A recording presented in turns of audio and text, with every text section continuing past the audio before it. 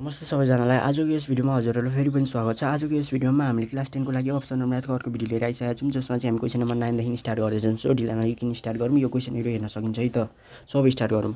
म question number नाइनको एक गर्न गइरहेको छु। क्वेसन नम्बर नाइनले के भन्छ भन्दाखेरि find the equation of circle whose centre is minus three comma minus four and touches the x axis भन हजुरको यहाँनिर सेन्टर दिएको छ एचकोमा के भनेको minus three comma minus four त्यसो भए हामीले चाहिँ यसको इक्वेसन निकाल्नुपर्ने छ। अब यहाँहरूमा के गर्न सकिन्छ भन्दाखेरि since since circle T O U C H S touches x axis x axis so r is equal to के हुन्छ भन्दाखेरि के हुन्छ। कि हुँदैन। जहाँ चाहिँ के को भ्यालु कति छ? के को भ्यालु माइनस फोर छ। हो कि नि त? एचकोमा के? एच भनेको माइनस थ्री के भनेको माइनस फोर भनेपछि आरको डाइरेक्ट हामीले यो निकाल्न सकिन्छ। यो फर्मुला मैले यो स्टार्टिङ इन्ट्रोडक्सन पार्टमै भनिसकेको छु। सो आर इज कस्टु चाहिँ के हुन्छ त भन्दाखेरि यदि सेन्टर दिएको छ अनि रेडियस दिएको छैन भने यदि सेन्टर सेन्टर दिएको छ एचकोमा के अनि त्यतिखेर रे रेडियस डाइरेक्ट फाइन गर्नु पऱ्यो भने आर इज कस्टु मोडुलस अन्डर के हुन्छ।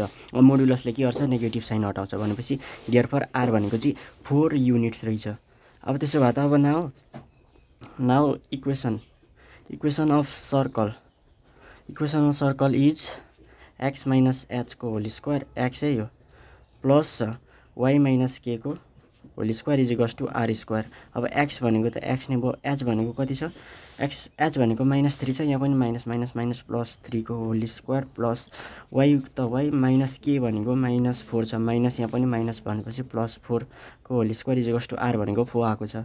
फोरको होल स्क्वायर अब यहाँ यहाँहरूमा x square plus three two जा six x plus nine plus y square plus eight y plus sixteen is equals to sixteen sixteen sixteen cancel out हो or x square अनि plus y square plus six x plus eight y होइन plus nine is equals to zero यो require equation for circle सर्कलको लागि require equation यति नै हो अनि त्यसै गरेर बी नम्बर पनि त्यस्तै हो। अनि बी नम्बर चाहिँ बी नम्बरमा वाइ एक्सिसलाई टच गरेको छ।